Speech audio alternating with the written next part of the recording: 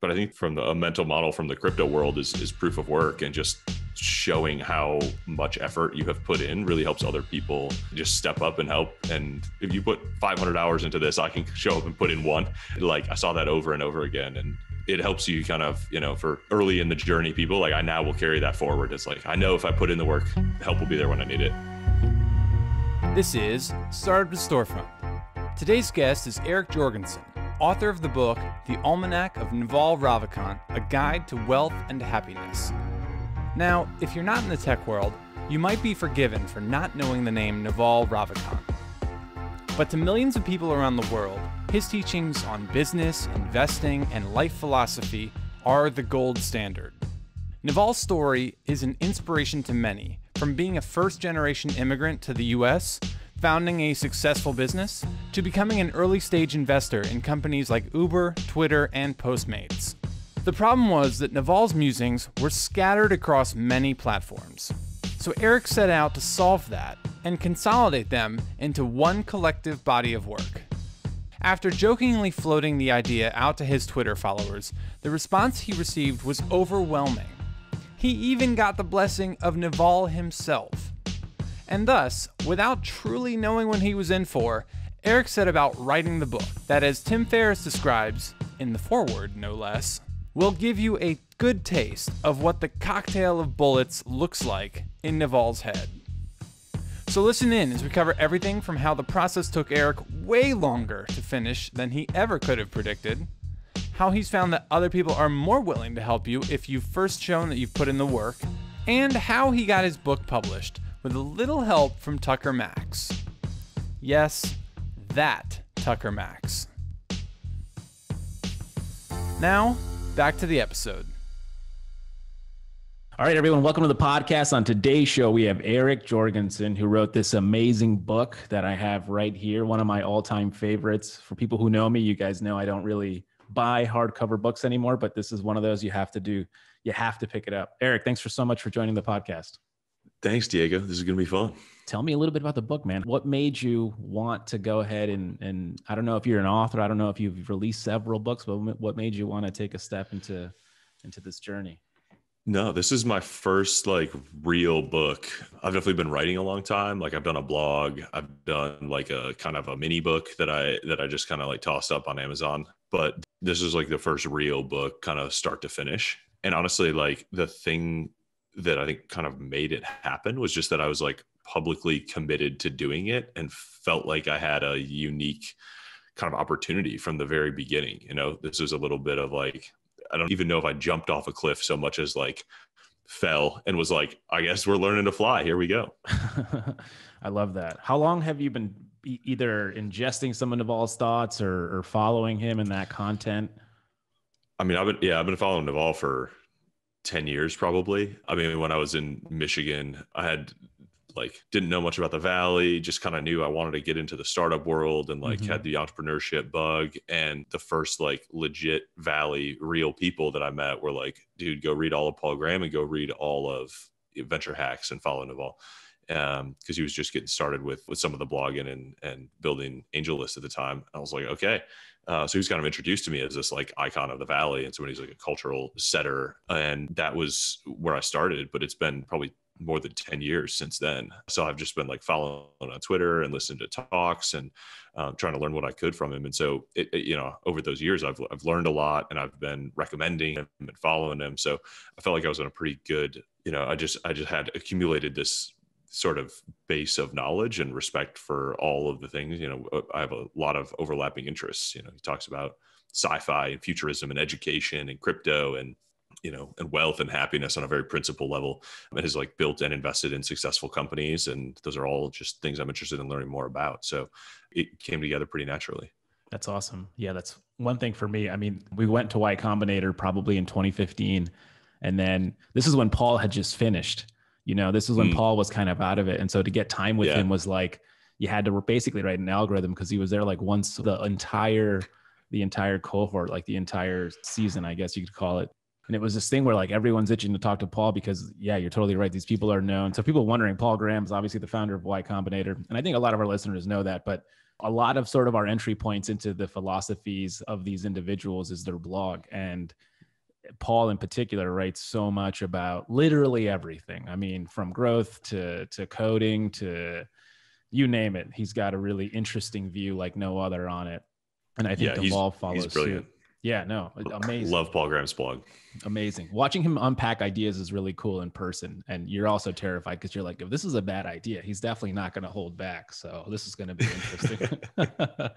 I think uh, most people probably know Naval and this is kind of good and bad. This is really interesting because I think in Silicon Valley we get like super. We get we have our heroes and they're kind of ours, right? Like the world doesn't know about them. Like they could be sitting courtside at an NBA game and nobody will know who they are. And that's actually why mm. I love some of these individuals because they're icons, but no one knows who they are, and it's really nice. Or the majority of people. Naval was on the Joe Rogan podcast, and I think that's that might have been a place where he got a lot of, of following as it but but then again it's hard to find him right? He has a podcast but he's not he's not out there. He's not like verified even on instagram. He's not in a place where people are uh did that make it hard to write the book? Did that like how did you go about dissecting all of his information everywhere yeah, I mean that that's kind of what made me want to write the book, just because it's interesting. Like you and I, at least, are really deep in like the podcast world and the Twitter world, and those like feel like huge places, um, mm. but they're really not like that mainstream in the scheme no. of things. Like most people don't listen to podcasts, I think, and like not everybody's on Twitter. Certainly, at least not to the to the degree that they would automatically know who Naval is down that like tech Twitter rabbit hole. And I think you know some of these ideas, I, I just over and over again would recommend them to friends or family members or whatever of like well here's what naval had said about that or here's what i learned about this. And people don't if they're not podcast people or they're not twitter people they, there's no access to those ideas and they're like they're kind of like right. yeah sure whatever. And i'm like all right i'm going to take this stuff that's like shared in this kind of niche format almost and like this ephemeral format right? Because like tweets just disappear after you know not very long and podcast discoverability is uh, let's call it unsolved. But everybody knows what to do with a book and books can like stay around forever and they're giftable and they're hand offable and they're you know they sit on a shelf until you need them or they kind of meet you where they are.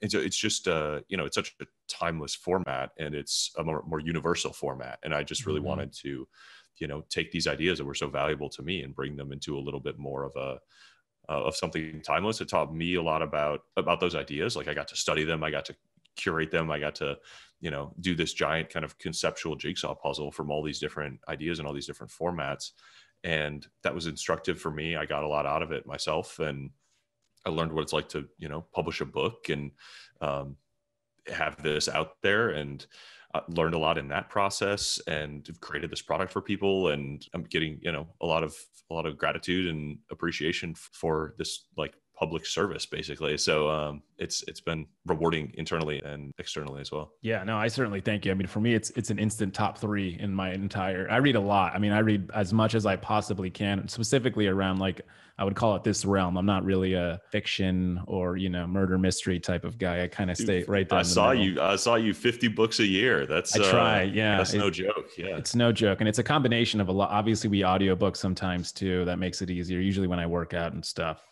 but I wanted to ask you, what was your first step in doing this? And so, was it getting to the publisher? Was it getting Naval on board? Was it Tim Ferriss? Was it all of the above? Yeah, interesting. It's a good question because I think the like order of operations is helpful and instructive. And like I found myself getting stuck when I was working on the wrong thing at the wrong time or worried about the wrong thing at the wrong time. And I would like lose energy or momentum or something like that and mm-hmm. and have to kind of figure out what the right next step was.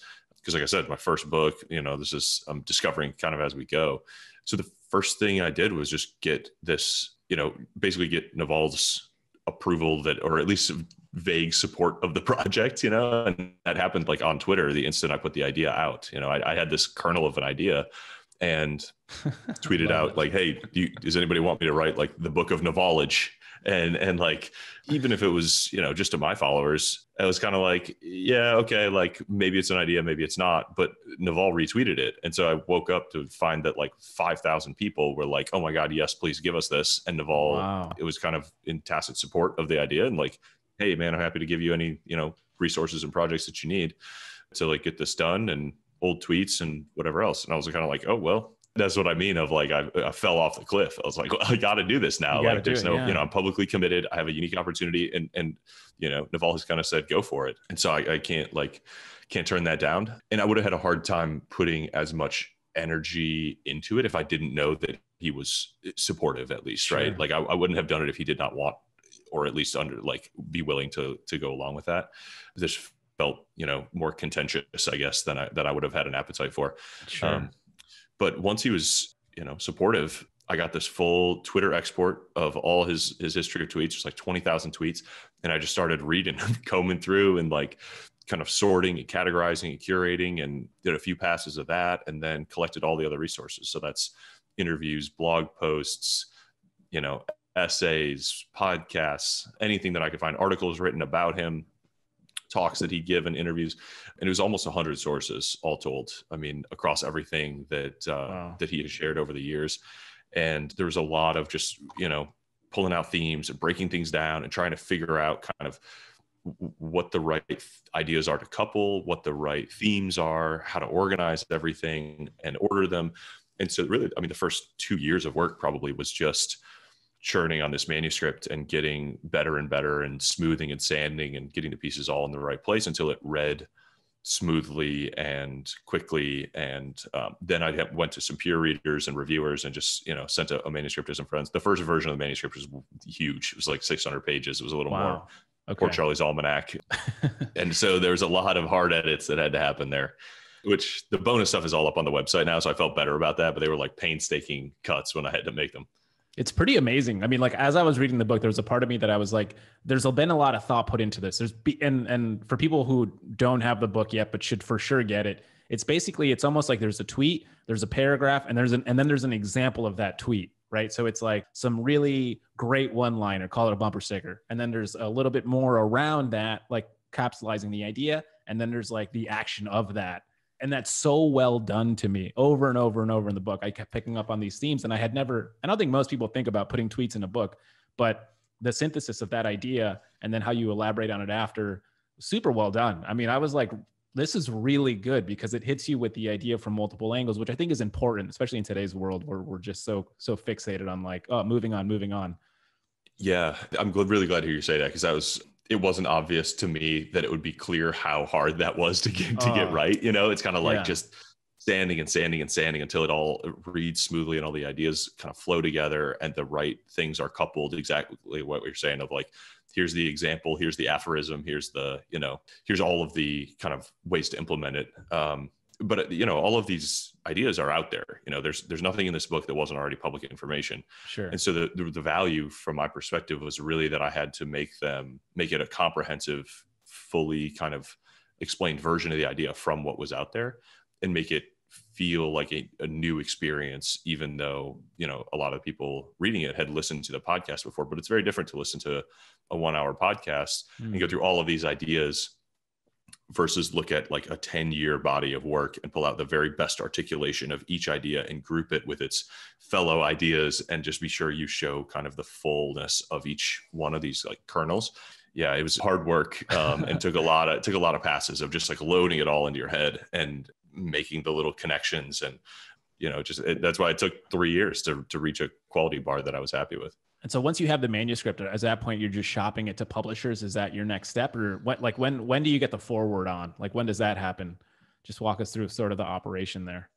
Yeah, that that happened very late, and so I think you know one one thing that I kind of learned through this is you know when you have proof of work like people are willing to show up and help. And so mm-hmm. when I had tweeted like, "Hey, I think I've got a finished manuscript here, and I've been through you know three years and hundreds of hours of work, and you know i've had peer reviewers and i've had everything then i tweeted that not entirely sure what my next i knew i needed to work with a publisher or some combination of professionals to get it designed and proofread and and you know up for sale but i wasn't sure how i was going to do it. And as soon as i tweeted that tucker max replied and was like hey you've been following this project for a long time. Would love to help you out at scribe. Like let's talk about this. And i was like oh perfect. And so scribe media is they basically help authors go from from manuscript to published finished book or they help people who don't want to sit and write their own full manuscript they have a process that they will do interviews and just pull your ideas out of you and help you structure them into a book and publish that book for you with like a relatively small time investment. It's just really, really cool process, but they have incredible designers, incredible copy editors and proofreaders. And it's a really like well-honed process. And they publish like dozens of books a year, but it's almost a publisher for self publishing. Yeah, um, and so like, it's not like the you know penguin process where they give you a loan and then they get it back. It's like you pay everything up front you pay for the service but then you you know you retain your rights and they're just there to kind of help you get over the finish line. And so that was a really really helpful kind of set of experts to have because there's a lot of steps that go into that that like yeah. self-teaching each one of those is is tricky or even going to find the talent and hire each one of those people yourself is tricky so that was a really kind of key piece of that process and then just like that lends a level of professionalism and so the, the foreword was a really kind of late piece to fall in okay. and it, i think it happened just because of all of the other proof of work that was there. This is a project, you know, Tim and Naval have been friends for a long time. And this is a free, you know, the book is available for free online. The digital versions are free on, on the website. And so it's, it's a non-traditional arrangement on, on a whole bunch of different fronts. Yeah. That's super amazing. I mean, I kind of I do real estate development, and a lot of it. Yeah, you know, I used to be in startup, and now in real estate development, mm-hmm. it's kind of like that. It's like it's an it's really annoying, frankly, to some extent. You know, I'm still struggling with the reality of it, and the reality is is I think summed up in the book in a really nice way, where there's an arrow of time, and then there's like a dot, dot, dot, dot, dot, and the dots are empty, and the dots represent actions, actions, actions, actions, and then toward the end, it's like half a result, and then result. That's basically the life I live and it's one of these things where I, I saw it in the book. It's on page 183. And I was like, this, this is the old, I, I don't have any tattoos, but if I were to get a tattoo, it would be this because this is the constant reminder for me of what it's like to do entrepreneurship, right? It's like you do it. Yeah, that's a, a, a Jack Butcher original illustration right there. He did all the the illustrations for the book. He's an amazing talent. But yeah, I mean, something about seeing those those ideas visualized, you're like, oh god, that's so true. Yeah. and I'm only on the second or third empty dot, so I got a ways to go. That's so, oh, dude, amazing. Have you met any of these people in person, or was was a lot of this just via? I don't even know. So you were working on the book. I don't know what happens toward the end of a book. I mean, I, I obviously we're deep in COVID at some point, but are you meeting a lot of the people in person and coordinate everything, or no, I have I've met I have since met Jack. Like he he came through town and we got some barbecue and got to hang out. But basically the book was done by then. Almost everything has been, you know, remote and working through email. I, I the whole process I never even talked to Naval live. It was just back and forth through through a few emails here and there and keeping them up to date on on progress. But I think from the a mental model from the crypto world is is proof of work and just showing how much effort you have put in really helps other people yeah. feel like they just step up and help and like man you've been if you put 100 like if you put 500 hours into this i can show up and put in one. Like i saw that over and over again and um, i love that. That's it's really it's nice. it's a it helps you kind of you know for early in the journey people like i now will carry that forward. It's like i know if i put in the work help will be there when i need it. Yeah that's so true and then of course the hardest part to any book right so once this three years is over you have to put it out into the world. And so, which is a whole nother, I think probably the hardest part, I would imagine. The way I got the book was I saw it on Product Hunt. And hmm. obviously, I followed Naval and I was like, oh, done, I'm in. And I think I even commented right away, being like, hey, is this available on Audible? And I'm so glad it isn't actually. You know, for people listening, audiobooks are wonderful. And I would say 90% of the time, I'm an audiobook fan. This is one of the books you for sure want to buy, read it. My whole book, you can kind of see it. There's like notes everywhere. It's just stars and oh nice. yeah. stuff. And i'm like oh I share that with my wife. You know a lot of these things are super appropriate for what we're both going through as like founders of our companies. But what was that like just obviously just launching it getting it out into the world? Yeah it's hard. And that is a thing that books are you know i had written a blog for a long time and blogs are tough in that you have to force yourself to publish imperfect things quickly but also you've got that mental valve of like but i can always update it. And this is so different and it's like at one moment it's just kind of like stamped in time and it goes and you can't change it. And that is actually another I, I, wouldn't have predicted it but it's another reason i was really grateful to have scribe and have kind of a third party like running my publishing timeline almost because they're like okay like here is a threshold here's a rubicon like once you cross it you can't go back. And so like lock the content or go forward okay okay lock the design okay go forward um, and so they really pushed mm. me to mm. set a pace and i felt like i was on a little bit of a conveyor belt that would have been like really hard you know it was, it was gentle and it was understanding and it was I did get to set the pace, but there was somebody who was kind of like, you know, coaxing you along a little bit and like showing you the next step. Nice. And I mean, the, you know, once you're invested so far, it feels good to kind of keep taking those steps. But yeah, launch is hard. And it's not something, you know, like with a company, there's not so much a big launch as just Right. a little iterative thing. And books are just one of those things that still kind of has like a launch and everything that goes with it. So it's tough to tough to put it out there. But I was also brimming over with excitement to share this with people. I was really confident. I believe deeply that people are going to love this book and and get something out of it and you know all the good feedback and all the early readers and everything give me a lot of confidence to just like I, I can't wait to put this in people's hands and see the changes and hear how people react and what they get out of it you know, it's funny, man. I one, it's a great book. Two, for me, even the podcasting and talking to people like you, talking to founders who are in a similar situation that I'm in, it's it's therapy. It's really just therapy. And this book is is the best form of it because it's so uplifting. It's so like, oh, you know, what I'm like Paul Graham says, a startup's like eating glass every day, right? And a part of that is for sure true. Like a part of that some days are not that fun. And books like this are the little things that just keep us going, right? The little things that we need to say, oh, Naval knows what I'm talking about. Eric knows what I'm talking about. Tim Ferriss knows what I'm talking about. We're good. We're, we're just we're just in the moment right now, and it's it just goes back. I just play over in my head like action, action, action, action, action, and then the results come way later. yeah one of my that was one of my favorite ideas was like impatience with action patience with results like Mhm. anything you're doing that's compounding uh, just over and over again you got to remind yourself that that's you know that that's how it works I love it. And what's next for you now? So are you hooked on it? Is this like the is this is this like you got the bug now to do more of this type of content? Or are you going to create something of your own? What's what's the next thing you want to work on? Um, I got a, I got a few ideas and a few things that I'm working on. I, I don't want to like rush into another book. There's a lot of ideas from this book that I feel like deserve deeper exploration that I'm like really excited to keep working on.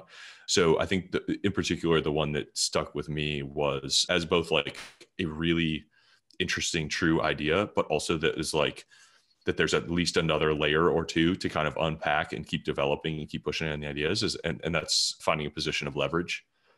And so, you know, looking at leverage and looking at the kind of what Naval says the three broad classes of leverage are just capital and labor and product. I would add tools to that, and I think he does kind of in in some of the postscript uh, that he does around the the how to get rich tweet storm. But there is there's a lot to explore there, and I think leverage is an idea like on the importance level of compounding. That's like one of those things that absolutely like increasingly governs the outcomes that we see or determines them and it's not super well understood and it's super early and it's increasingly true the more uh, the marginal cost of of replicating things like podcasts and media and code goes down and the stronger and more powerful the tools get they become longer levers and so leverage is becoming increasingly important um, so there's a lot to explore around that so I'm, I'm doing some some reading and some writing around around those ideas um, and i don't know exactly what that's going to turn into I do like that a lot. I mean, I think as I've noticed this a lot with founders, even more, I think more specifically my wife.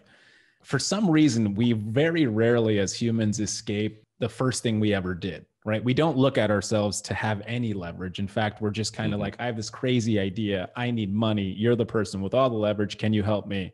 And, you know, I see this all the time. Even start founders who have done two or three or four, they they very rarely realize that they're the whole piece that they need to start understanding how much leverage they actually have. And I don't know if it's an ego thing or I don't know if it's just like a, it's almost one of these things when you're, once you're a founder and you, you have no money, you know, you're very cognizant of every single penny. And very few mm-hmm. founders ever let that go. It like sticks with them for the rest of their life, or like they won't use the dishwasher type of, and you're like, what are you doing? Like, you don't need, we're past this. Leverage is similar. I've seen it a lot where they don't understand the leverage they have. And, you know, I don't know how to unpack that, but I see it a lot. And it's unfortunate because I'm like, no, you're the talent. Like, you're everything. You're the whole thing here. And people want to get on board with you. Yeah, that's exactly kind of what I want to keep digging at and unpack. The, the way I've been thinking about it is it like we, we all start as flatlanders, you know, we're all just like standing on equal ground. Yeah. And if you if you imagine like a leverage mountain, and so like you get a little bump of a few levers and then it gets higher and then it gets higher until you have like, you know, people like Jeff Bezos are standing on just like a giant mountain of levers. And there's mm-hmm. different types of levers like capital and labor and uh, and product and tools and all of those there's like the four different faces of the of the mountain. And I, I think kind of what you're saying where people get stuck is is they have like they focus on one or where they Right. have some talent or some awareness and there's usually a bottleneck in some other. And so they like they, they're like oh i can't get money and so i can't get this tool and this tool would get me this product and the product would unlock everything. They're focused on the product and not thinking about how they can maybe use like labor to get them money to get them tools to get and so like the interplay of all of those things so that they grow together evenly um, is a really interesting kind of way to think about the different types of leverage available and how people can inventory the leverage that they have going for them or not and look for different bottlenecks in different places and look for trade-offs in different places so that they can keep their energy focused on you know eventually the game just becomes building and applying more leverage and and that is those people are playing a different game than the people who are just trying to work the things in front of them it's a very it's a it's a lens that i'm kind of building over the world to try to explain more and more of this I love that. I remember when I first got into real estate development, I had no business being in real estate development in the traditional sense. I mean, I'd never done it before. It wasn't like I had a track record. And basically, the first step into doing this, I just sat down and I wrote down who I was. I was like, okay, what have I done before? What are my levers? Is really what the exercise I was doing. Mhm. Right. And I wrote down everything. Like, I'm like, I'm Latino. Maybe that'll help. Maybe that's a lever. Right. And I think all of these little things are actually levers, frankly. Like, if you're tall, maybe that's a lever for whatever you like there are levers that are just intrinsic to to you and who you are and, your- and your charisma but but the, the the thing that i did was i was like okay i have from a product uh, me as a product like if you wanted to give me money you'd have no reason to do that there's no track record there's nothing right and so i said okay because i'm zero like i I just ranked these things like so my product lever let's call it was zero out of 10 however i had done some things that people would admire and so me as a human was maybe like a let's call it a five out of 10 so i said like okay that's some leverage but the ultimate leverage is how I package this real estate deal. And because I'm a five and I have no reputation, I have this product has to be a 10. It has, right? And Mhm. so it made me just focus on building that lever. And sure enough, that's the thing people bought into. And obviously, over time, kind of to your point, the other levers start to grow, right? And so now I have some track record. Now it's easier, easier in quotes on the next project, easier for you with your next project, right? Because you Mhm. have some cred. But it was really this this weird exercise of like, I just need to be honest with who I am, and here we go. And you know, things come out of it that you that but I don't I didn't expect around. Oh, these are some levers I, I, you know, I didn't know necessarily know I had. I went to school for civil engineering as an example. Turns out, Hmm. being an engineer in real estate development is really actually pretty key as it relates to you not being able to get screwed by some engineers who you know like to like to use words that i'm they don't think i understand but it turns out i do and i just say this as a point of reference where we ourselves before we decide to embark on something crazy like for you maybe here with the book or whatever there are things that you've done in your lifetime that you've written off as like i'll never use Mhm. that again. And those things actually end up surprising at least me and being some levers for future growth. And it was it was really nice to, to witness because I, I think in our, in our 20s at least for me i was so focused on everything i do has to be so purposeful to this end and Yeah. you know going to friends weddings wasn't in that equation and therefore i didn't go and it was like what am i doing right i wasn't living and then i realized like okay you know i had to take a, take a step back and say these are these are things that are were important in my development and i need to start leaning into them more Absolutely. Yeah. That's that's one of the kind of the key questions I, I feel left with after creating the book and, and readers talk to me about after they've read it is, you know, Naval kind of started learning the skills of happiness later in life after he'd Mhm. achieved all these like material successes. And kind of the core question is like, how much can you overlap those? Like how if he could do it again, would he have been happier throughout the whole time that he was like very aggressively building a company and investing and you know you see that pattern a lot in in biographies and stuff like that and i think you know we i think it's possible certainly to like choose more happiness while we are more aggressively building but it's a tough thing. And you know i studied the happiness piece of this almost by accident. Like i wouldn't have Hmm. sought out set out to write a book about happiness from where i was. It wasn't what i was focused on. But i'm really glad that i had the opportunity to sit with all of these ideas and kind of get pushed and have a context to study them because i think i think you can you can carry more happiness through anything that you're doing. And that's you know one of the one of the secrets of it. And hopefully you know that's you know we, we are all able to like be a little more fulfilled and wholesome throughout like all of our all of the different stages of life and not be so like you know i'm choosing to only you know work and not be happy and not work on my family and not work on my relationships and my friends throughout you know the whole all, some specific periods of our lives just because we we think sacrificing those things is necessary. Yeah that's so true. It's such a myth. I learned that the hard way actually because i literally spent all yeah. my 20s just being like that guy i was like 31 and i realized could i insert happiness into my life somehow here? And it turns out you can and when you do it changes everything. I mean it just changes your perspective. You're you're you're better to be around. Um, you're more excited about your ideas. You're you're also more focused because and I say this cryptically in a way where I think as people in startup, we don't let happiness in. And it sounds mm-hmm. dumb, right? But I think we do a really good job at saying life is suffering. I'm not supposed to have fun. Gary Vee goes over this all the time, being like, I ate dog shit for t- you know 10 years. And this is a it's an in, it's not exactly the truth. Like I think you can do it while being happy and just being aware of the moments and chasing moments that make you happy. And in some way, I think if you're not happy doing the everyday thing, like working on your product, then maybe that product isn't you're doing it for the wrong reasons right? And and i think that's okay too like that realization of maybe i'm just doing this for money is a good realization to have like maybe you should chase yeah. impact. Because when you chase impact you let happiness in by default.